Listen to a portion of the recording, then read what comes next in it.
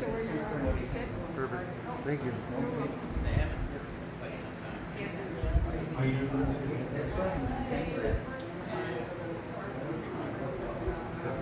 I have 957.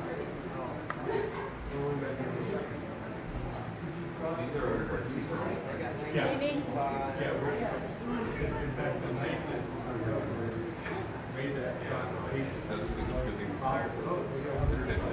Thank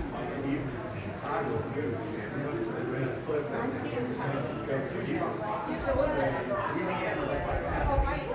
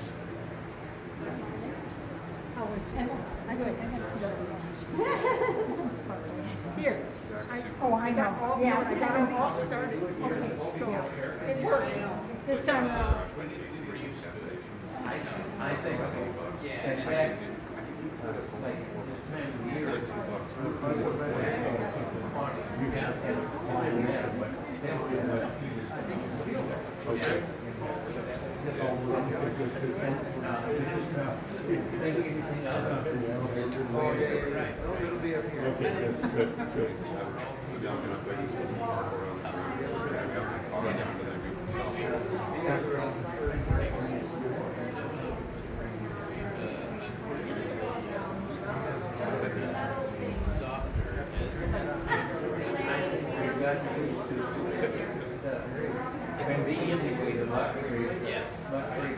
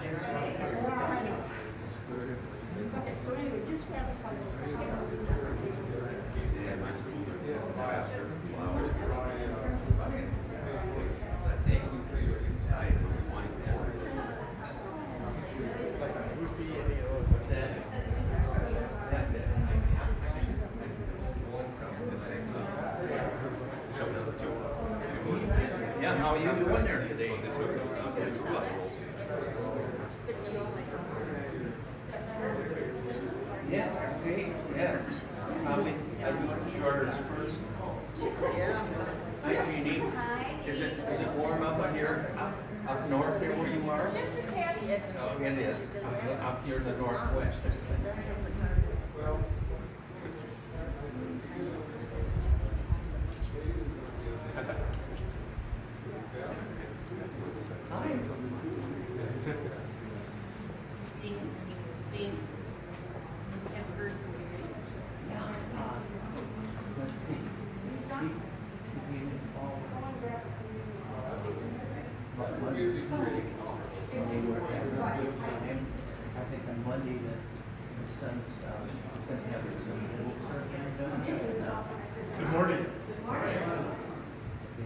countdown timer gets down there. Oh.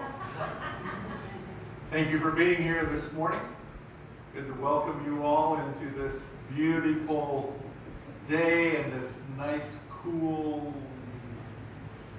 no, auditorium.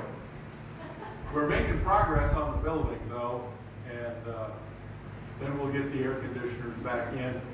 Probably sometime in December, maybe the air conditioners will work. Well, I'm looking forward to this morning. Are you?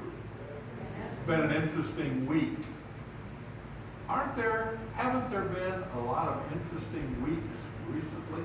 Oh, Just never quite sure from day to day what's happening and what's going on, except God is still on the throne.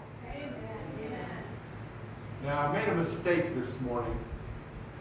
I didn't get the call to worship printed out for me. So I'm standing up here waiting. There we go. Call to worship this morning. Those who trust in the Lord are like Mount Zion, which cannot be shaken, but endures forever. As the mountains surround Jerusalem, so the Lord surrounds his people both now and forevermore. Think of that, will you please? In the midst of whatever is going on that may bug you, and if you're not bugged, some these days, uh, would you do a little experiment for me? Kind of stretch out your left arm like this. Take these two fingers and put it right about here. Just to make sure. Because if there's nothing that's bugging you these days, you're either a super saint, which you all may be. But remember, those who trust in the Lord are like Mount Zion, which cannot be shaken but endures forever. That's our God. That's the hope, that's the promises we have. I'm looking forward to this service. I'm excited to be here. Uh, thank you. Some of you asked if we had to sneak across the border. We didn't. I can say that publicly on the internet. Um, no order of that kind has come down just yet that I know. But we're here. We're glad to be here because we trust in the Lord, and we must remember if we trust in Him, we can't be shaken. May get a little nervous at times. But our God, the Lord surrounds his people both now and forevermore. So let's enjoy the celebration today. Let's be together in the Spirit. God help us. Let's pray.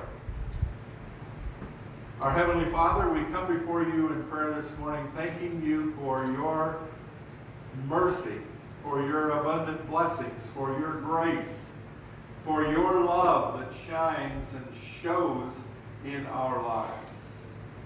And now, God, as we worship you in this time together, be with us in a special way. May your will be done as we worship you. And help us to hold on to the fact that you surround us and you will not be shaken forevermore. Therefore, we need not fear. You're in charge. Thank you. Amen. Dan? Well, you know, you keep bringing up verses that we can sing about, but we just can't seem to get on the right page. Because there's a verse or a song that we sing, I will not be shaken, right? Yep. We sing that song and we sing scripture. Isn't that a cool thing? Yes. Amen. Well, hey, I'm glad you're here, and I'm glad you posted something on Facebook today. Today is your wife's birthday. That's right. And so those of you who are on Facebook, you can say happy birthday to Sharon. I don't believe Sharon has a Facebook page. No, she doesn't. But you can wish her a happy birthday on Facebook, and then her husband will show her. How's that? And we have a card. So I'm going to run off camera here, give you your card. Amen. Happy birthday. Thank you for playing today, too. Marilyn and uh, Sharon, the dynamic duo, are playing today. So, hey, are you happy to be in church today, even though it's almost 90 degrees at when I left my house at 8.30, it was like 88, it's according to the, uh, I said, I'm wearing dress pants today because they're cooler. And Zach's like, well, why don't you just wear shorts? And I said, I'm leading music. That's why I'm not wearing shorts. I draw the line at no socks. Let's sing this great song, I Have a Hope. See, I promised you last week we would sing this song, right? Maybe next week I'll promise to say, We'll sing, I Will Not Be Shaken. Okay? Okay? I like it. If you want to stand, stand. If you want to sit because it's hot, if you're in air conditioning and you want to stand, that's be great. So let's sing. I have a hope. I have a future. I have a destiny.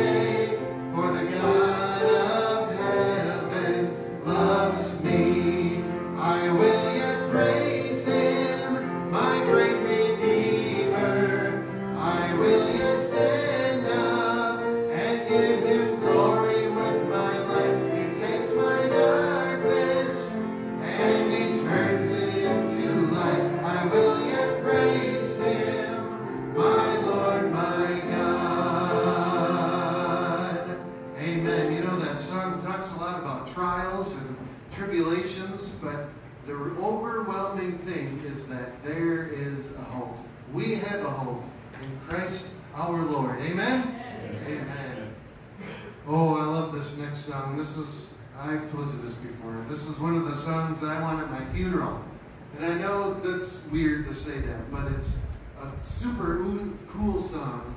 When peace like a river attends my soul, when sorrows like sea billows roll, whatever my life thou hast taught me to say, it is well with my soul.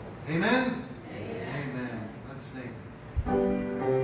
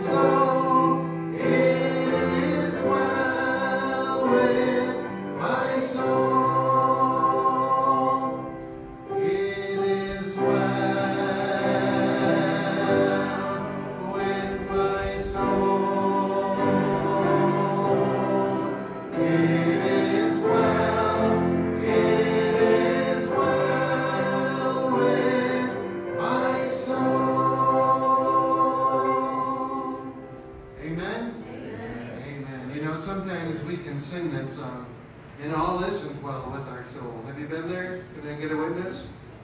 But you know what? That third verse is the best verse. My sin, and then the writer stops. Oh, the bliss of this glory. He just has to soak it all in.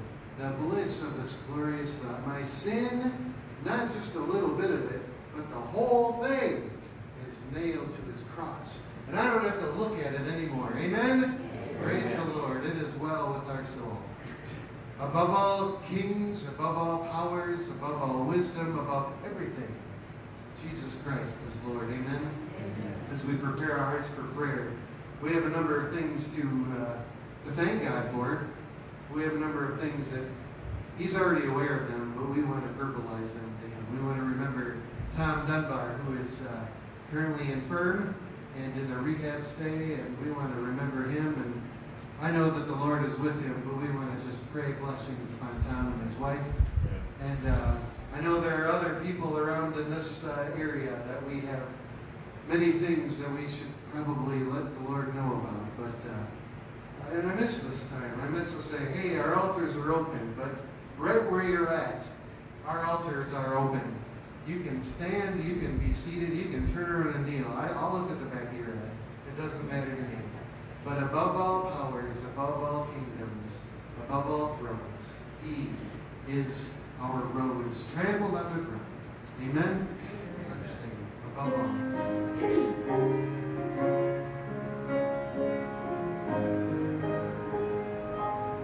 Above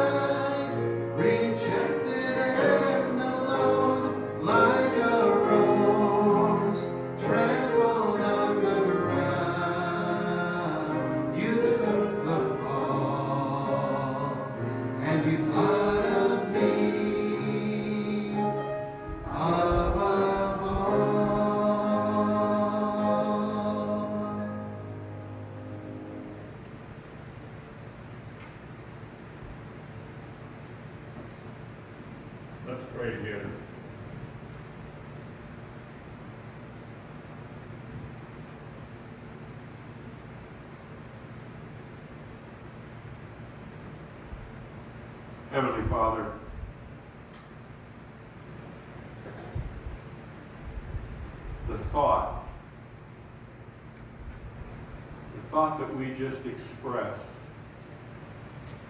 It said in the midst of your suffering on a cross for us, you thought of us above all.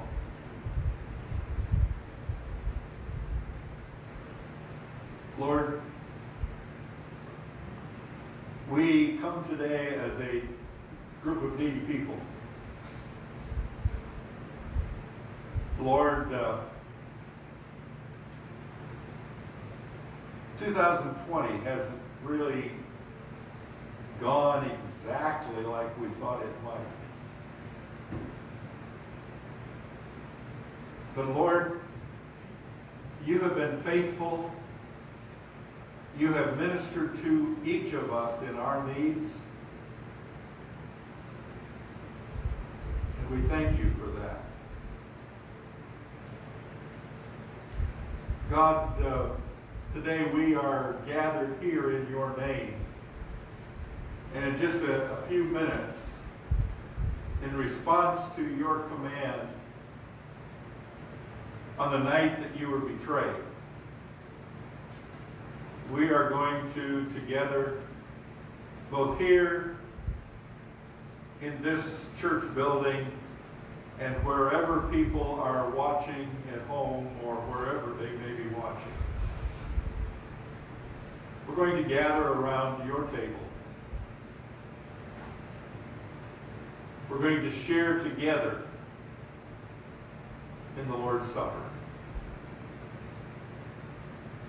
And as we do that today, God, I for one am going to be very mindful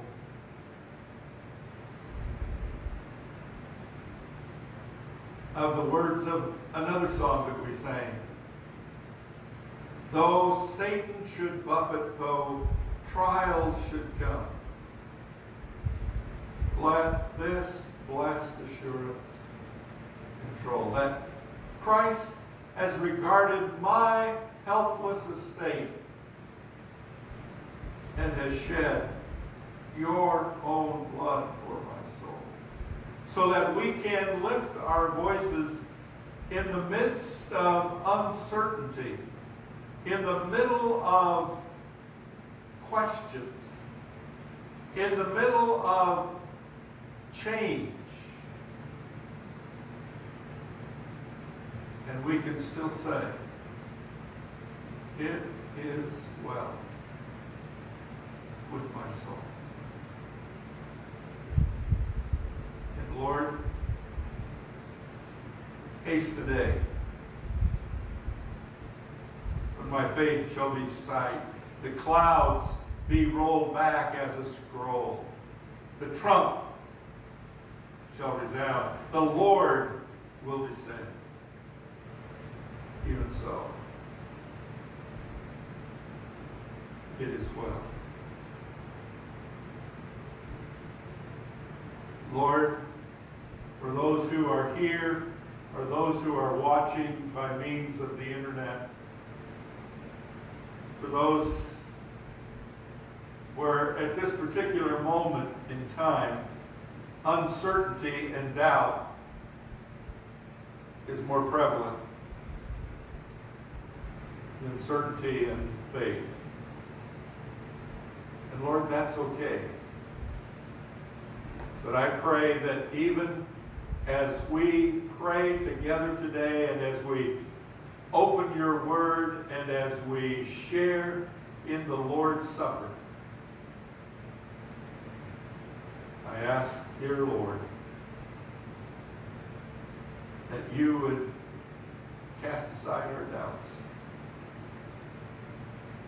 and help us to see you more clearly. And may we be able to rise in our affirmation of you to say with certainty that you are here, that you are with us, that you are surrounding us with your protection forevermore. Thank you, Jesus. In your name, I pray. Before we conclude the prayer, for those of you who are here in the building when you came in, you were handed a cup that includes both the juice and the wafer. If your eyes are open and you're watching me, don't do that. I got the wafer off. Now to get it open. Which doesn't look like I'm going to be able to do. Oh, there it comes.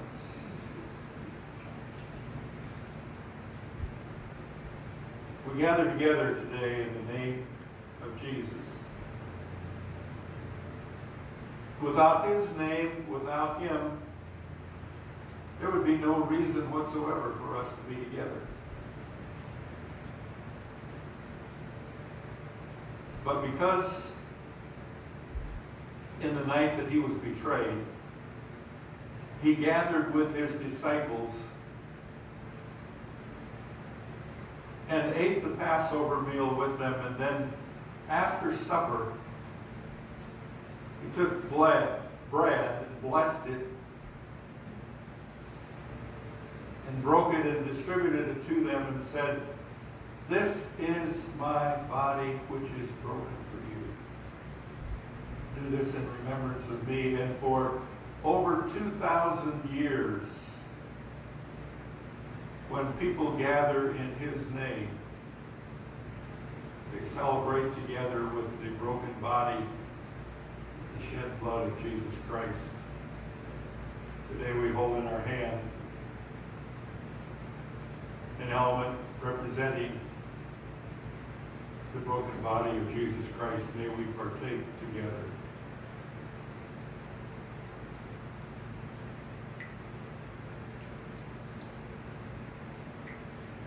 Likewise after supper. Scripture records that Jesus took the cup. And he said to his disciples, This, this is the new covenant, the New Testament in my blood. This is my blood which is shed for you. Do this in remembrance of me. For, he said, for as often as you do this,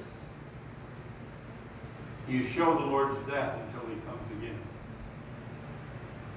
Lord, we're looking forward to your coming again, and we just can't help but believe that it may be sooner than some of us think. It could be any time now. But Lord, we want to show our love for you by partaking together. Shall we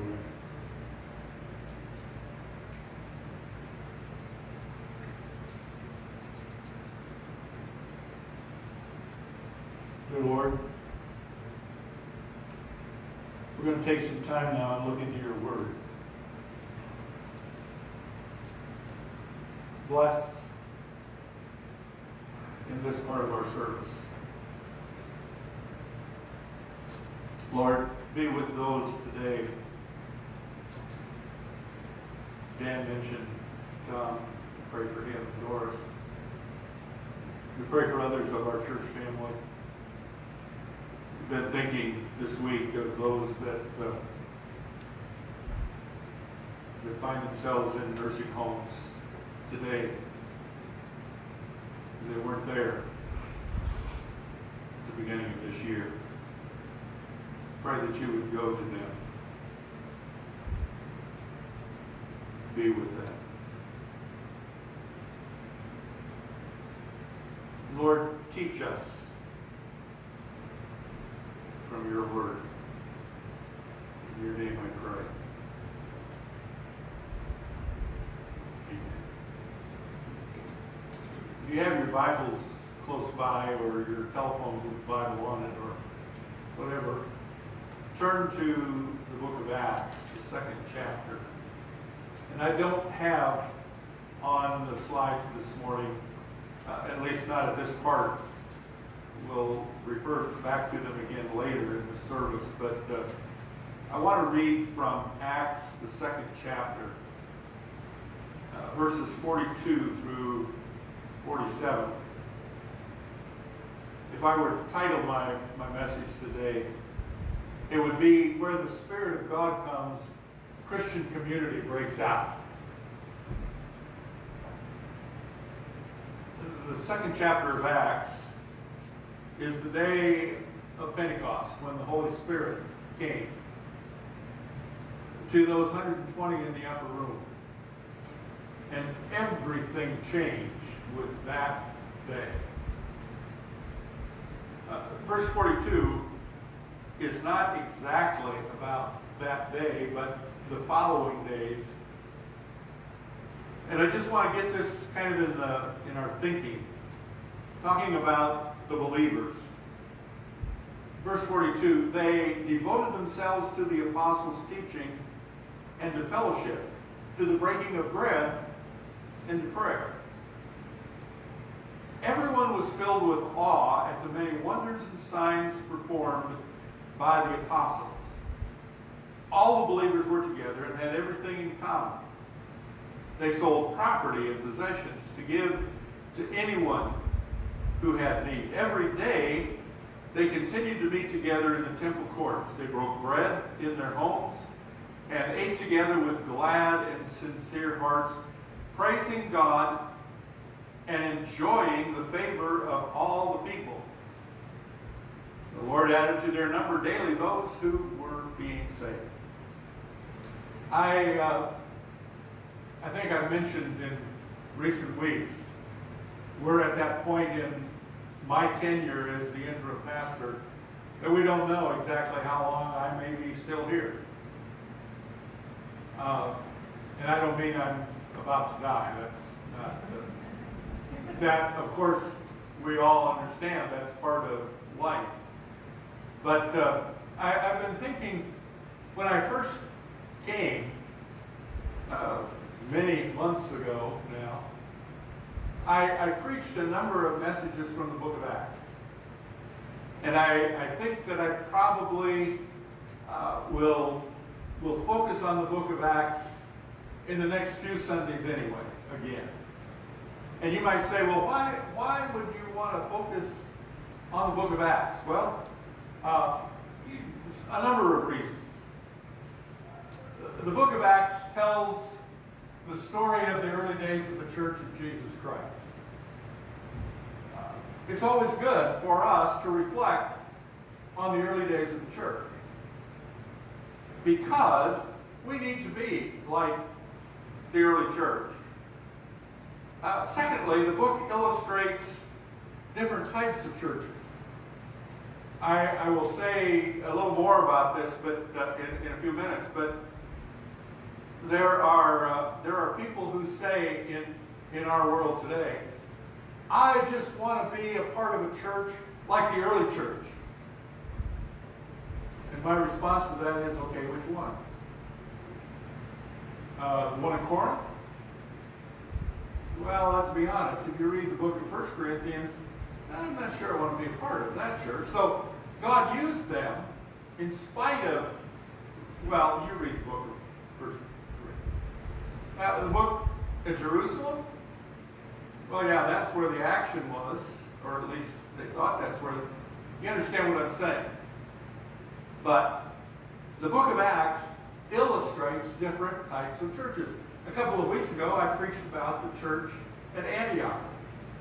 And, and one of the one of the sterling facts about the, the church at Antioch was, well, you might have a different idea, but one of the things I mentioned a couple of weeks ago was the church at Antioch, it's recorded, this was primarily a Gentile church, but it was the place where first the followers of Jesus Christ were called Christians, which, which technically means little Christ. Oh, wouldn't it, wouldn't it be wonderful if we could all be part of a church that uh, somebody would say downtown, well, what do you know about that Church of the Nazarene up there on Crawford and Madison? And someone who didn't know a lot about us would say, well, I don't know a lot about them, except I do know some of the people that go there, and they represent Christ very well. Whew. Wouldn't you like that? Sure. So, it's a good idea to, to study other churches. The, the, the book of Acts also illustrates the ways to deal with change. hmm. uh,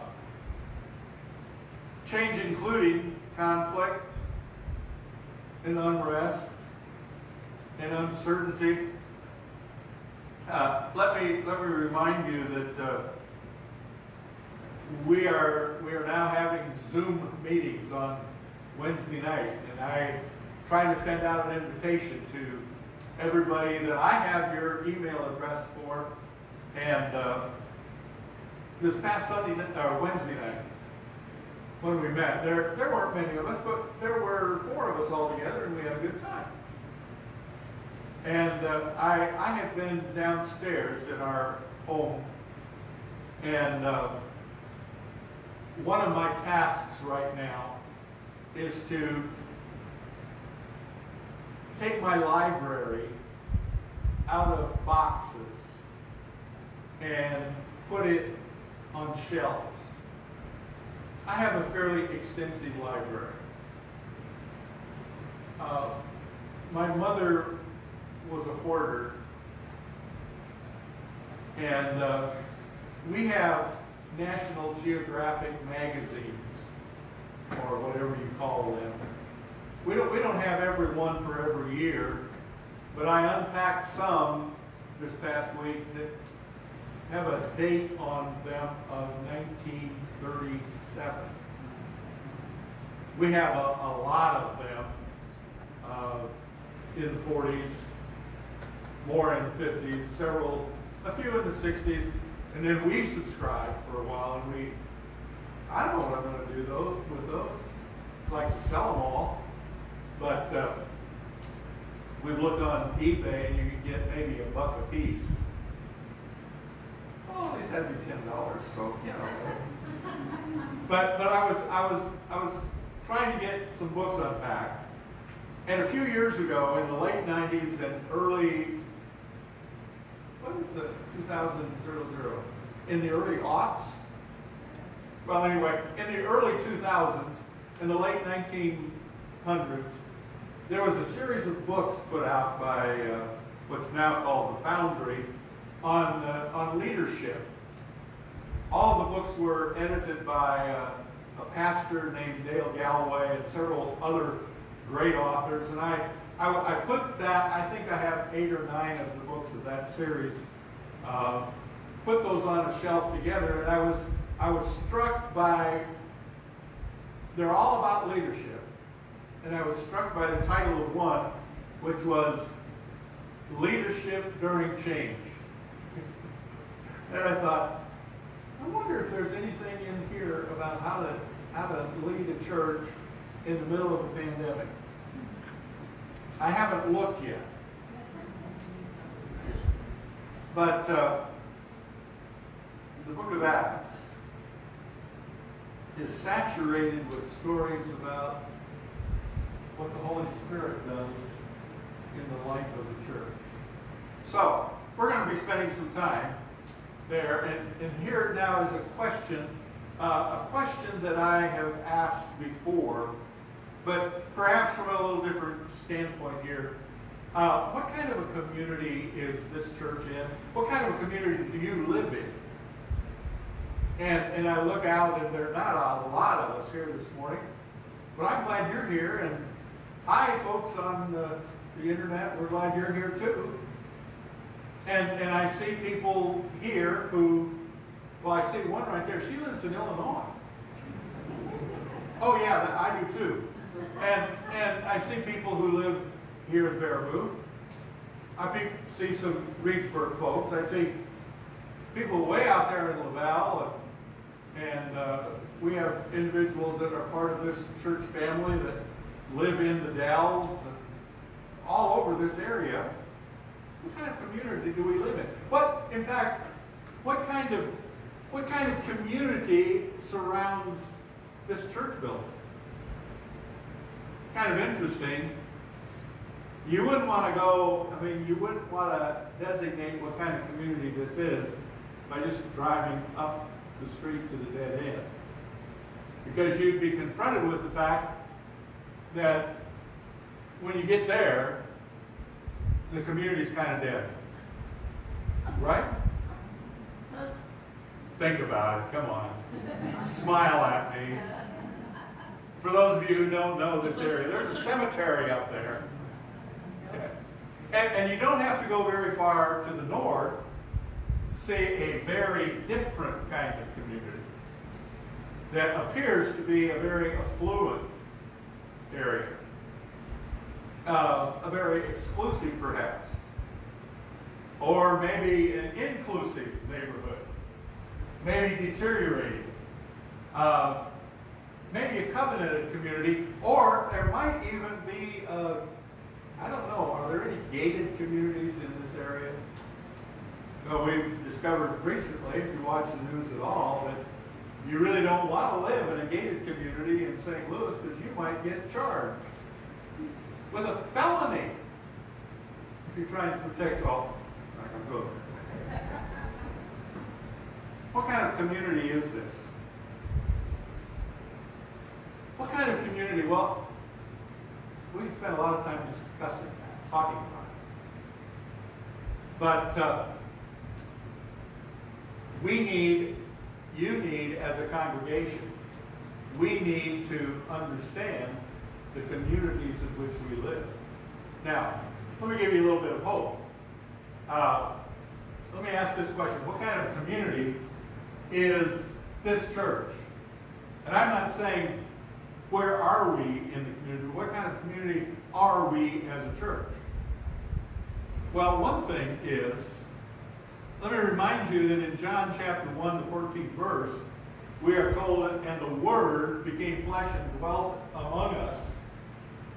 And uh, I love the message of that. I, you've heard me quote this before in the time I've been here, but it's one of my favorite translations of a favorite verse.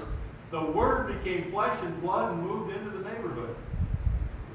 That's, that, that means that wherever you are, if Christ is in you, Christ is in the community in which you live. Whoa, think of that.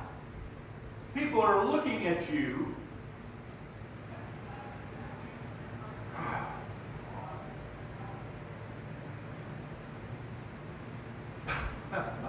I just wondered what that was. Those of you who are watching, we're, we're getting somewhere, so that's okay. Now, let me, let me just remind you of this also. Heaven is a gated community. Wouldn't want to live in a gated community in St. Louis right now. That's not a good place to be. But boy, heaven is a gated community. In fact, in the book of Revelation, the 21st chapter, we read the city. Let me just, the city had a great high wall with 12 gates and 12 angels at the gates. On the gates are written the names of the 12 tribes of Israel. How'd like to live in a, in a city with an angel guarding the gate? Hey, we have a promise that that's where we can be. That's where we're headed. I like that. I like that notion. And in fact, let me read it a, a, a little further. The 13th verse says, There were three gates on the east, and three on the north, and three on the south, and three on the west. Sounds like plenty of access to that gated community. And then from the uh, New Living Translation. Listen to this. On no gate, on no day will its gates ever be shut. For there will be no night there. The glory and honor of the nations will be brought into it. Nothing impure will ever enter it. No, nor will anyone who does what is shameful or deceitful, but only those whose names are written in the Lamb's book of life. The cities of our country are a terrible place to be right now. Uh, 60 some consecutive, well, I think it's 60 something. If not, it's right at 60 consecutive days of peaceful demonstrations in Portland, Oregon. Those peaceful, uh, peaceful demonstrations have burned down a major section of that city. But Revelations promises that nothing impure will ever enter the New Jerusalem. Now, the church is also a community of covenant. The day of Pentecost was the day that the church was born. The, the, the day of Pentecost marked the beginning of Christian community that, that we read about, where they devoted themselves to the apostles' teaching and, and they went on. Now, I, I, I looked up the word covenant. When I say that the church is a community of covenant, uh, a covenant is, according to the dictionary, a, a solemn agreement between the members of a church to act together in harmony with the precepts of the gospel. did, you, realize you had agreed when you become part of this community to act in harmony? That's what the dictionary says you're supposed to do. And, you know, pretty good idea.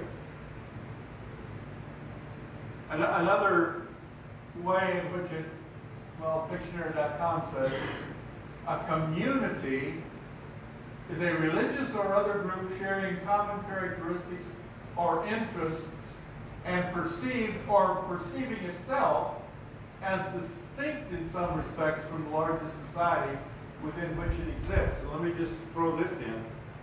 The day we forget that we are distinctive as a community of believers, the day we decide we're just like everybody else, is the day we lose a great part of what God wants us to be. I, I've already referred to it two or three times. But the first verse that I read today, verse 42 of the second chapter, says that in this community of covenant, they devoted themselves. They devoted themselves, let me read it again, to the apostles' teaching and to fellowship, to the breaking of bread and to prayer. Four things to be devoted to. That help us? What does it mean to be devoted? Well, I looked that one up too. To be devoted means to concentrate on a particular pursuit, occupation, purpose, cause, etc. I like the fact that they were devoted to four things, and I like all four of those things. They were devoted to the apostles' teaching. They were devoted to fellowship. Oh, wouldn't it be nice if we could have some, oh, we do have fellowship even when we come together now. But there's no fried chicken. Um, you know, in, in the, uh, in the first Church of the Nazarene in Los Angeles, uh, they had a practice that we've lost somewhere along the way. Their practice was that they had a potluck lunch together every Sunday. Hmm. Well, we've got the cement concrete in the floor, or for the floor out there. It's coming slowly. But it'll get there. See, the, is that the whole rest of the building out the rest of the building is out there. It just has to be brought from way, way, way over there and put together somehow. And I, and I know that is the, is the new siding out there too yet? Not yet. The, we, we're gonna have new siding on this, ol- this older building. That's been ordered for a while. I don't remember exactly when it was ordered, but they said three weeks they'd have it here. So it'll be here before long. And then you can have fellowship every Sunday if you want. Well, they were not just devoted to fellowship. What kind of fellowship? Breaking of bread. The last one is really, really, really, really important. They're devoted. Yeah, let's look at that. Let's look at the definition. Devoted means to concentrate on a particular pursuit. They were devoted to prayer. Let's hear that one.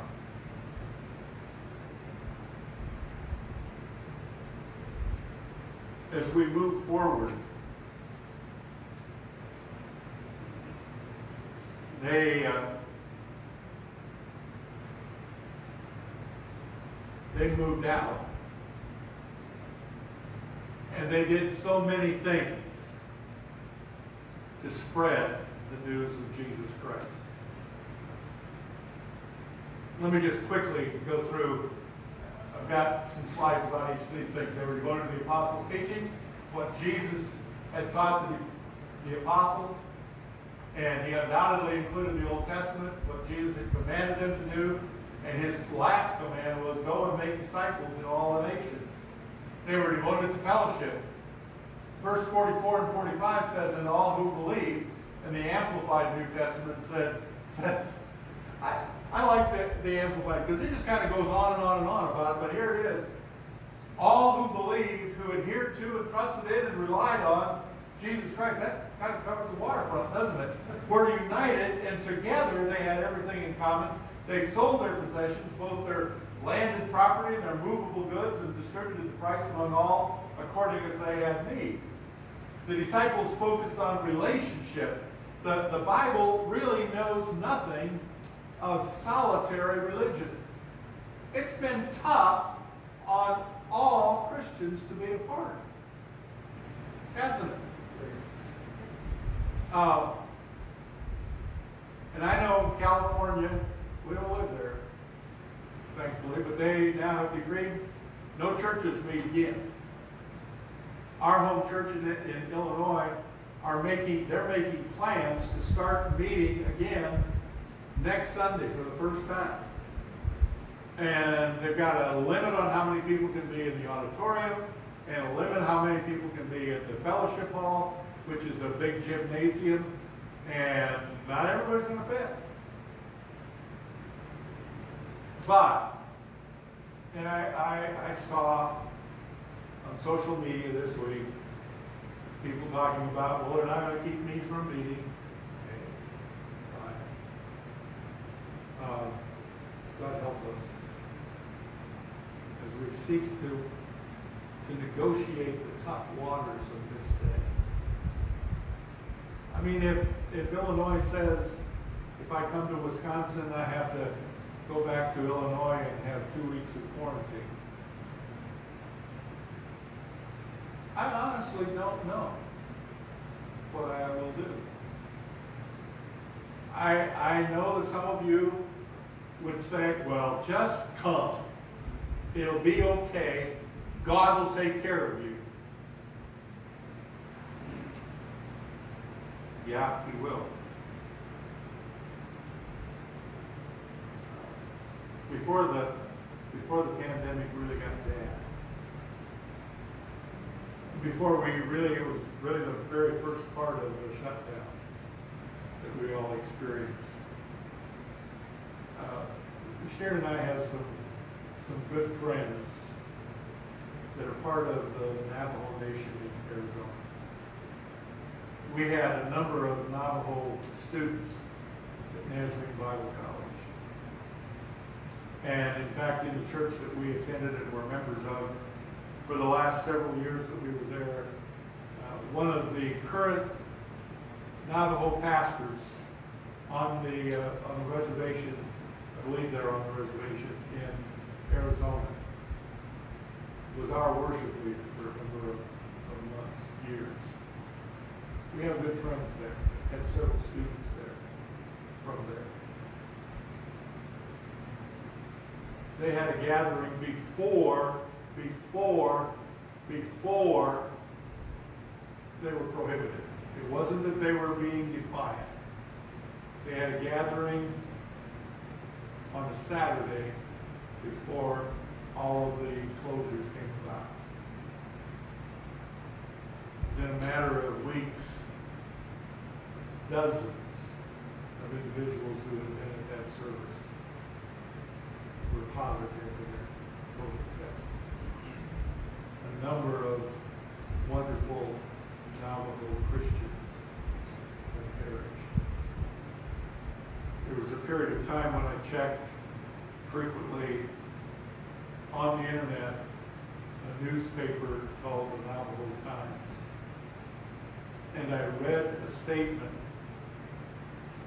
one time, and they said the spread of COVID-19 among the Navajo people is a result of that Church of the Nazarene meeting. So, will I come and cross the border if I need you to be here? I don't know. I want to do what God wants me to do. Uh, the disciples focused not on what our rights are as much as they focused on what does God want. And uh, they focused on being in relationship. They focused on being in community. They focused on the breaking of bread. Verse 47, every day they continued to meet together in the temple courts. They broke bread in their homes and ate together with glad and sincere hearts, praising God and enjoying the favor of all the people. They rejoiced together.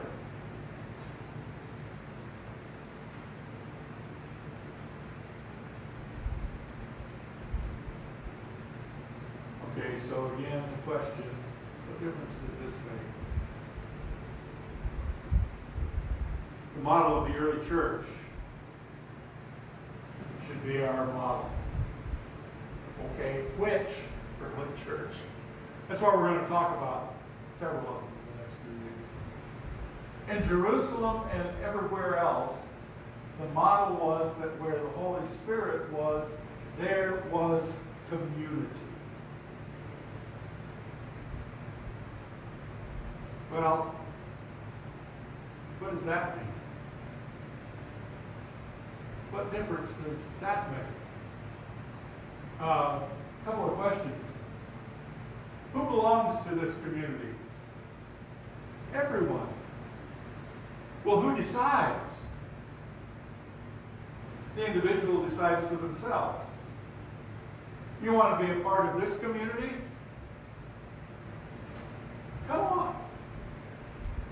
You may not agree with everything. I've been amazed. Uh, we've had a couple of board meetings about furnishings in that new building out there. Uh, they've gone very smoothly. It could be that when the building's done, somebody, somebody from the congregation may walk in and say, "Oh my, why did they do this?" Let me assure you why they did that, because they thought it was what they should do. Okay? Simple. They thought that was the decision they needed to make. And each individual can decide for themselves in the community. But they must also be devoted to prayer, to the apostles' teaching, to outreach. When this is over,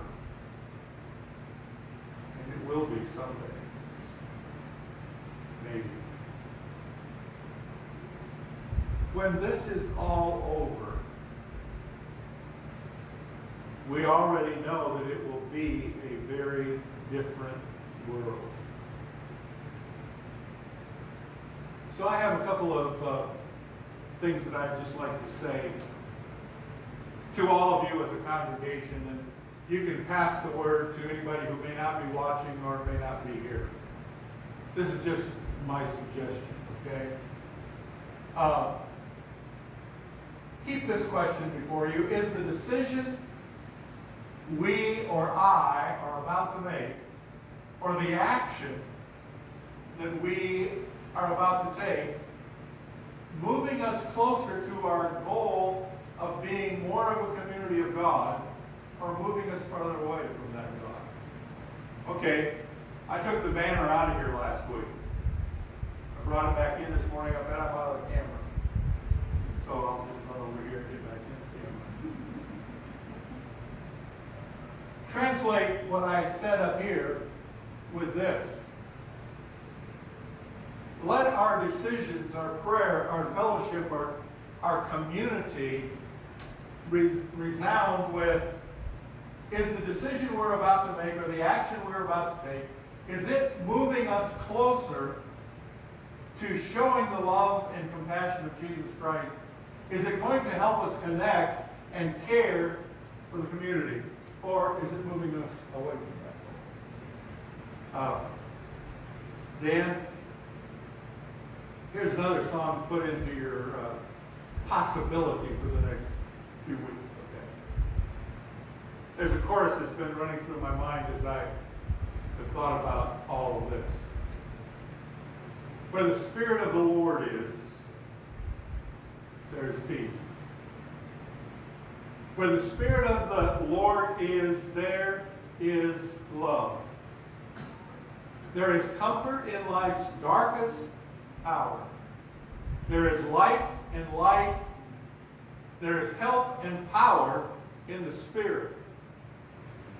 In the Spirit of the Lord. Where the Spirit of the Lord is, Christian community breaks out. Let's pray that the Spirit would be with us in such full measure that we could be like the early church, whichever one we decide on. Our Heavenly Father, thank you for the truth of your word that comes to us and speaks to us. Lord, help us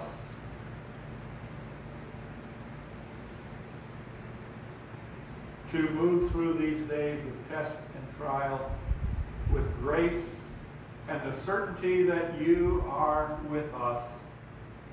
And then help us to find ways